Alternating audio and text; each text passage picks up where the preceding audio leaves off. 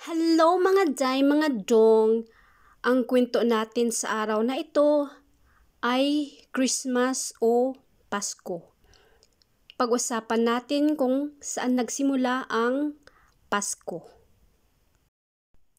Christmas, kombinasyon siya sa pangalan ni Kristo at Mesa. Ibig sabihin, misa para kay Kristo. Saturnalia Saturnalia ito yung Roman Christmas. Honor nila yung god na Saturn at nagsisimula sila sa December 17 hanggang December 19 at nag-extend ito hanggang December 23 at umabot ito ng 7 days of festivities.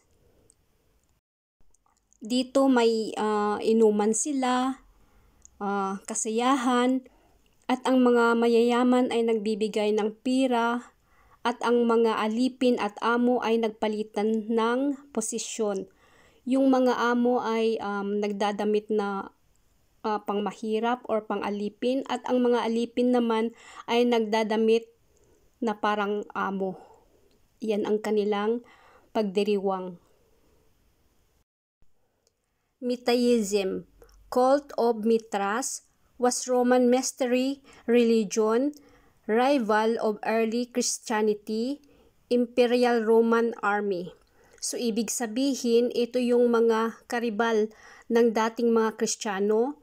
Sila yung um, exclusive lang sila na lalaki kasi uh, Roman army sila. So ang mga army dati ay mga lalaki lang. So ang cult na ito ay mga lalaki.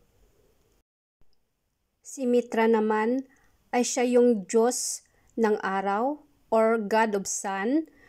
Uh, pinagdiriwang ito tuwing December 25.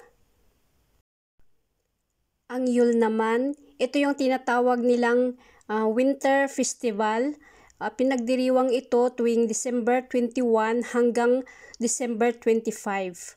Itong uh, pagdiriwang na ito ay may 12 days dito natin nakuha yung 12 days of Christmas. So, ito yung paganong pagdiriwang at ito ang ibig sabihin ay rebirth of the sun. Ang pagdiriwang na ito. At dahil nga mahaba yung gabi, kailangan nilang magputol ng mga kahoy para sunugin para gawing proteksyon sa kanila para sa lamig. Kasi nga winter festival at mahaba yung celebration or pagdiriwang. 12 days ito. At dito naman nagsimula yung fireplace na tinatawag tuwing winter. At dahil nga gabi, madilim, kailangan nilang maglagay ng ilaw o kandila sa labas ng kanilang bahay para maliwanag. So, dito naman nagmula ang Christmas light, parol, lantern, at mga iba pang mga ilaw na ginagamit tuwing Pasko. Naglalagay din sila ng evergreen tree sa loob ng kanilang bahay. Ang ibig sabihin ito ay simbolo ng pagpasok ng Diyos sa kanilang tahanan o tinatawag natin ngayon na Christmas tree. Napili nila ang evergreen tree dahil hindi ito naglalagas kahit anumang panahon. Tinatawag nila itong eternal life, ability to live forever, and tree of light. Ang mga regalo naman at mga dekorasyon or palamuti sa Christmas tree, ang ibig sabihin ay pag-aalay para sa kanilang Diyos. Yan ang ibig sabihin ng mga ito. Si Udin ay Diyos ng mga pagano. Diyos na lumilipad sa langit tuwing gabi para bigyan ng swerte ang mga tao. So dito naman nagsimula si Santa Claus. Si Santa Claus na lumilipad tuwing gabi at nagbibigay ng regalo sa mga bata. Si Saint Nicholas ay kilala bilang mabuting tao na laging nagbibigay sa mga mahihirap at mga bata. Yan ang Santa Claus na tinatawag ngayon. Edict of Milan, ito yung agreement to treat Christian, give Christianity legal status. Ito yung sa February uh, 313 AD. Ang Edict of Milan ay ito yung agreement, kautusan, pagtanggap or pagpasok ng mga Kristiyano or Kristyanismo sa Roman Empire. Si Constantine the Great, siya naman yung Roman Emperor from AD 306 to 337 at siya yung unang Roman Emperor to convert into Christianity or Kristyanismo. Pagkatapos ng sampung taon, naipasa na ang Kristyanismo sa buong Europa. Kaya yung mga nakasanayan ng mga pagano na tradisyon ay ipinagbabawal na. Pero nahihirapan silang talikuran yung mga tradisyon na yun na nakasanayan na nila.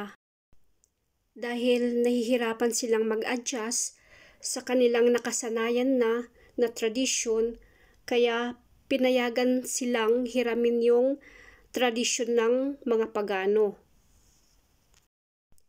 O sige, ganito na lang. Yung December 25 na yun sana ay kay Mitra, uh, God of the Sun, ipahiram na lang natin kay Jesus bilang kanyang kapanganakan. At wala namang nakasulat sa Biblia na tamang kapanganakan ni Jesus or pizza ng kapanganakan ang nasulat lang doon sa Biblia ay um, ipinanganak siya sa sabsaban. So, ibig sabihin, hindi Disembre. Kasi sa sabsaban, ibig sabihin, may mga damo-damo pa. So, ang Disembre, pag December na kasi, ay mga snow na. Snow na yan. Kaya, walang sabsaban. So, ibig sabihin, nasa, ano siya, sa um, summer siya pinanganak kaya walang specific sa Biblia na kanyang kapanganakan. Sa Europa or sa ibang bansa, official na na pinagdiriwang nila ang December 25 bilang kapanganakan ni Jesus.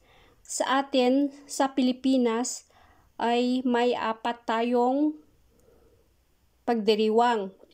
Kasi hindi natin tiyak kung alin ba na buwan ipinanganak si Jesus. Kaya, dyan nag uh, sisimula yung apat na pagdiriwang, apat na buwan. Dito na ipahiram din ang Christmas tree bilang paggunita kay Jesus. Dati, yung Christmas tree ay cross sa taas.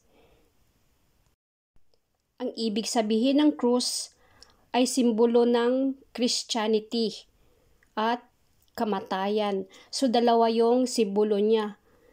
Kaya tinanggal nila yung krus sa taas kasi hindi naman pinagdiriwang yung kamatayan ni Jesus, kundi yung kapanganakan niya.